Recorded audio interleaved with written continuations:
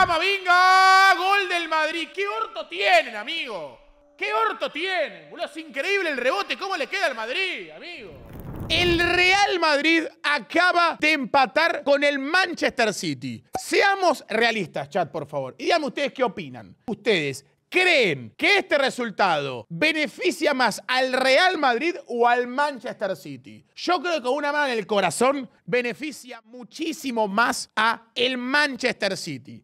El historial de Pep Guardiola es 13 partidos ganados, 6 empates y solo 5 derrotas. En el Etihad en Champions, no recuerdo la última vez que haya perdido Guardiola Champions con el City, amigo. Sinceramente es una locura. Seamos realistas y hablemos un poco de lo que fue el partido, chicos, antes de hacer la reacción y verlo todos juntos. El partido fue justo, es un 3 a 3. Pero aún así es algo importante que hay que mencionar. El Real Madrid tiene un factor que es importantísimo, que es el hecho que para mí es el único club en Europa que hace un gol en Champions y parece dos. Yo creo sinceramente, y repito lo que dije la última vez, que para mí en cancha del Madrid era un empate y en cancha del City era un baile del City. Lo sigo sosteniendo. Para ustedes hoy, si De Bruyne era titular, la historia era otra, vamos a repasar los 11 de cada uno. El Real Madrid fue con Lunin en el arco, Carvajal, Chuameni, Rudiger y Mendy. En el medio, Camavinga y Cross, Rodrigo, Bellingham, Valverde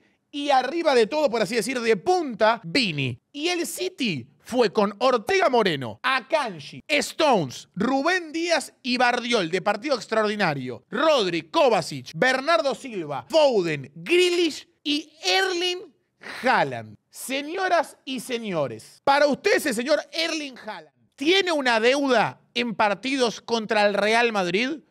Ya lo enfrentó, si no me equivoco, por Champions tres veces y no pudo todavía hacerle ni un gol y, si no me equivoco, ni una asistencia. Quizá me equivoco, ¿eh? puede haber una asistencia. Hoy la pasó muy mal nuevamente contra Rudiger.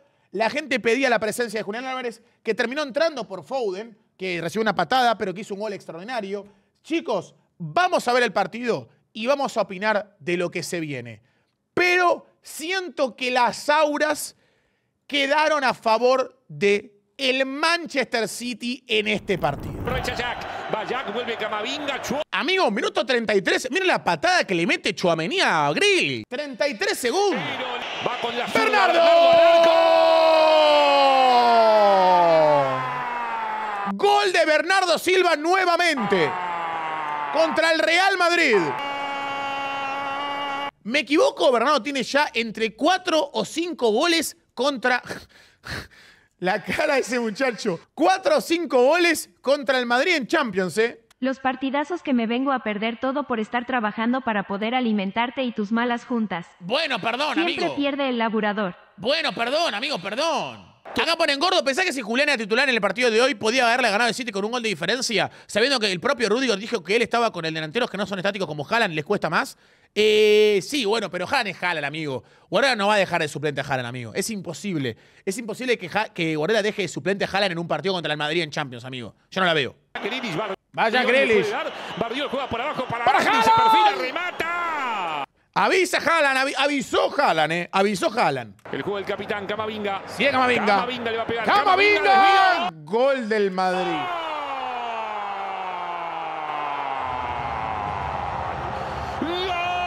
Ese, rebote en Rubén Díaz condenó al arquero, amigo. Ese rebote en Rubén Díaz condenó a Ortega. Gol de Camavinga. ¿eh?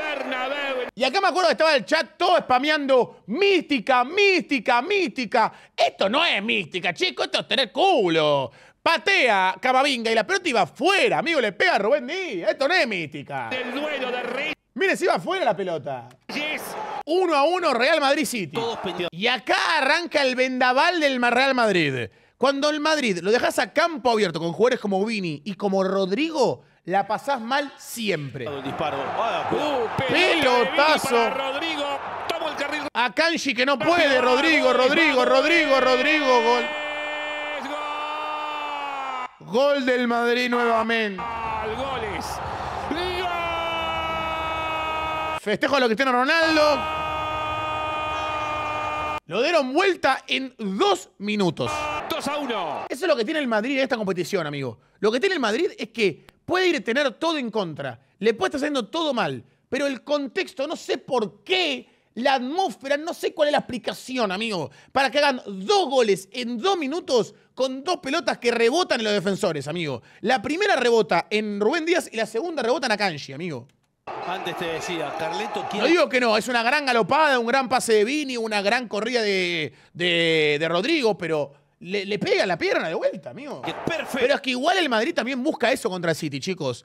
Busca tener todo eh, el núcleo de jugadores bien cerca de su arco para que los jugadores de City también se alejen de su arco y que pueda tirar el pelotazo. Te voy a decir algo, eh. Hoy, la ausencia de Kyle Walker, que considero yo que fue fundamental. Yo creo que si hoy Walker estaba en cancha, para mí el Madrid no salía vivo de la eliminatoria. ¡Para Rodrigo! ¡Ah!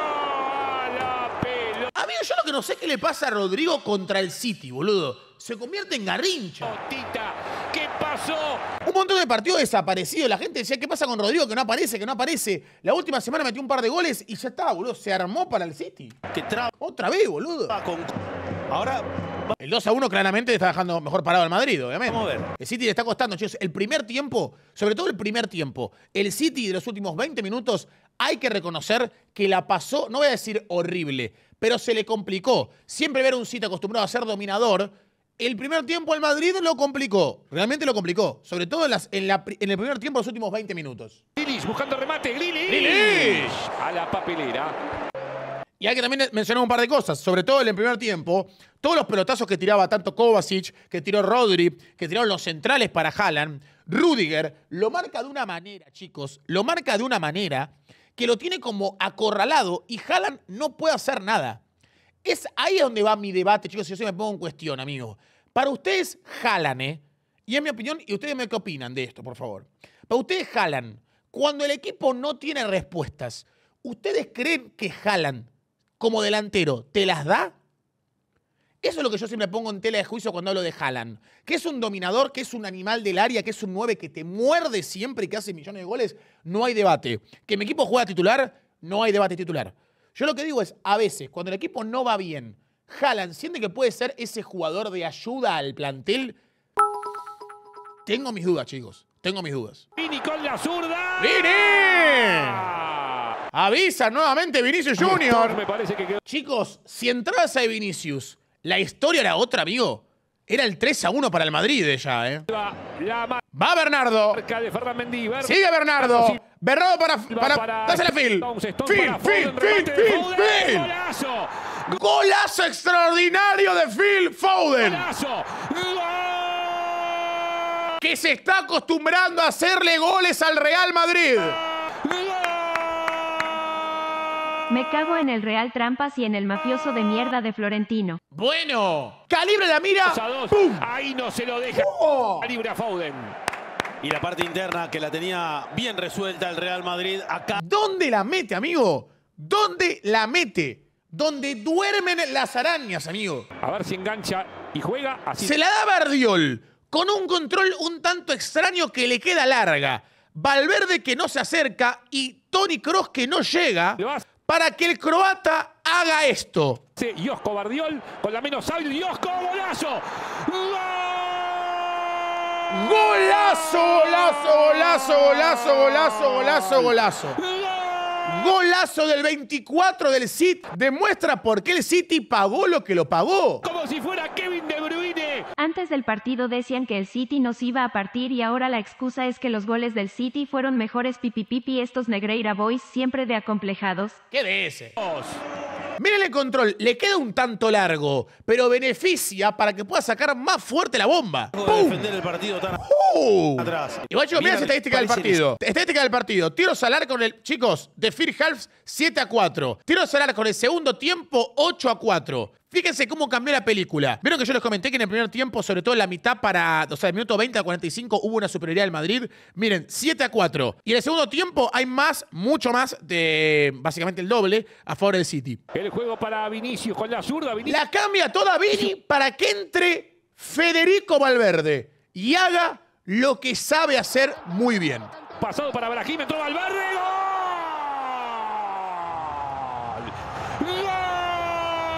¡Qué golazo!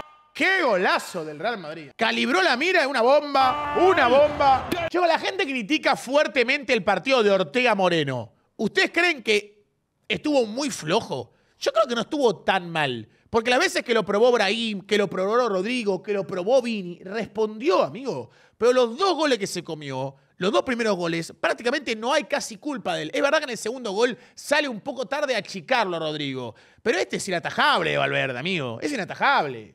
No quiso probar. El lateral no se lo da al Madrid. No quiso ningún tipo de inconveniente. Muchachos, finalmente el Madrid 3, Manchester City 3. Les hago una pregunta, querido chat. ¿El resultado fue justo? 3 a 3. ¿Fue un resultado justo? 3 a 3. ¿Les parece sí o no? Yo voy a decir algo y lo tengo que decir con una mano en el corazón. Con una mano en el corazón y saben que a mí en Europa amo y me encanta el Barcelona. Pero hay que reconocer que los Real Madrid-Manchester City se convirtieron quizás en el partido más atractivo a día de fecha del fútbol europeo, amigo.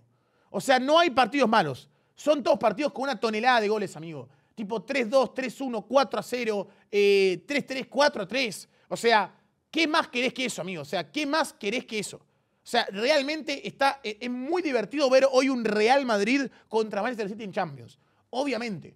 Obviamente que también hay algo que es claro, que hoy estos dos equipos juegan contra el Barça y la pasan mal. Hay que reconocer que son partidazos siempre eh, muy buenos, amigo. Son partidazos muy buenos y muy divertidos de ver.